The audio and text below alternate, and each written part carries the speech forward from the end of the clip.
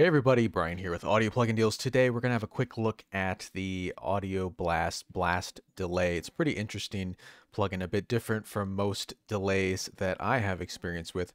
Before we get started checking this one out, make sure you are subscribed to the channel and of course hit that bell notification icon so you know when we go live with videos and great deals just like this.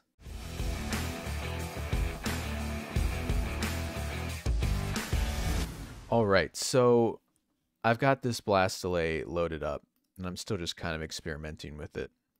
So really I have probably the most simple thing you could possibly do. Just two instruments here. One's a drum kit and one's an Omnisphere pluck. And without the blast delay, it sounds like this.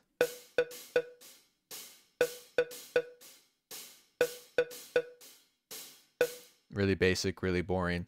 Um, so I started with just turning the blast delay on with the drums and we can take a look at how it really evolves over time.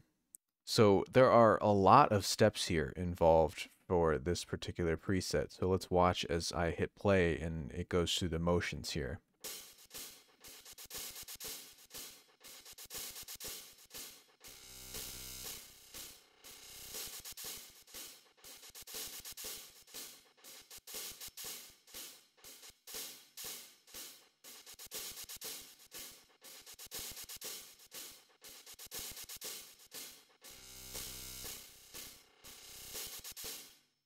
So you can really see the the one that has the most steps is this time, but I also just did this feedback and you also see as the filter goes through the motions here.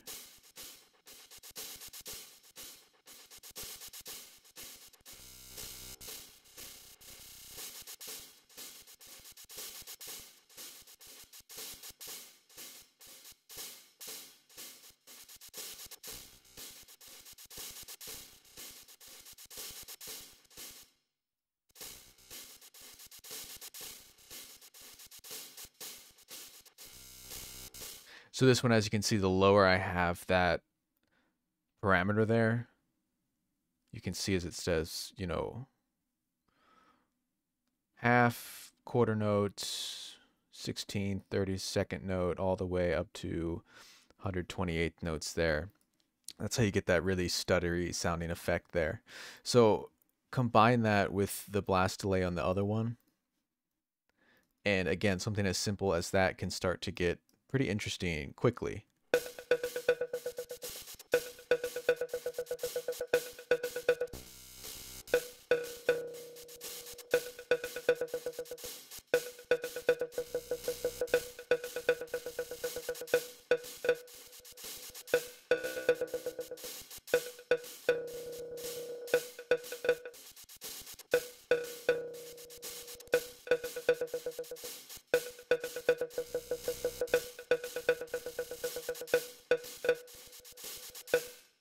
Again, not a very musical demonstration, but you can see already the different possibilities we have with this plugin. If I click here, there are a variety of presets as well.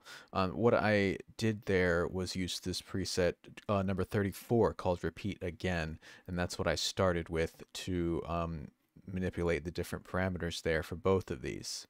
So it's all pretty self-explanatory. You can see the length here, you can set the speed here, and then the parameter that you'd like these steps to control is all set just by clicking that. So the time is where I hold it down, I raise it up, and as you can see right there on the screen, it tells me exactly what um, time base that effect is going to be for that specific step.